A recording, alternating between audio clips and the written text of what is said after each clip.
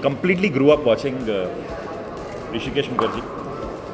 Uh, so Anand, I was in primary school, I think, when I saw Anand, and uh, I got completely caught by Rajesh Khanna, by Amitabh Bachchan, by uh, Johnny Walker, by Ramesh Dev, by Tara Singh, and more importantly, by what the way the film was written by Gulzar Saab and the way the film was made by Rishikesh Mukherjee.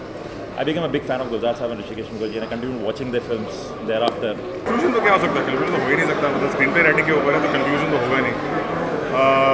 मतलब बातें चल रही थी कि script क्यों नहीं हमारे पास? Problems क्या है इंडस्ट्री में? प्रॉब्लम्स क्या राइटर्स पे?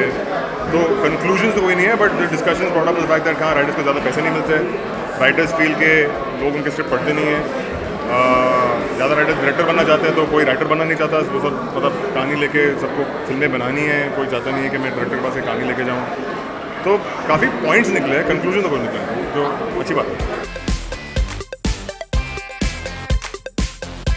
मेरे हिसाब से मतलब यही जो मैं कह रहा था वहाँ पे कि लगता है कि क्या है जो छोटी शहरों की जो कहानियाँ हैं या कहानियाँ जो बाकी हैं, हम लोग क्या है मुंबई में आके हम लोग रह गए यहाँ पे। मतलब मेरी तो पैदाइश यहाँ पे मेरी कहानियाँ तो इतनी होंगी ना मतलब तो वो कहानी हमारे पास आएँगी कैसे? We all very open to directing staff from other writers but who bringing script to मैं बहुत स्क्रिप्ट पढ़ता हूँ।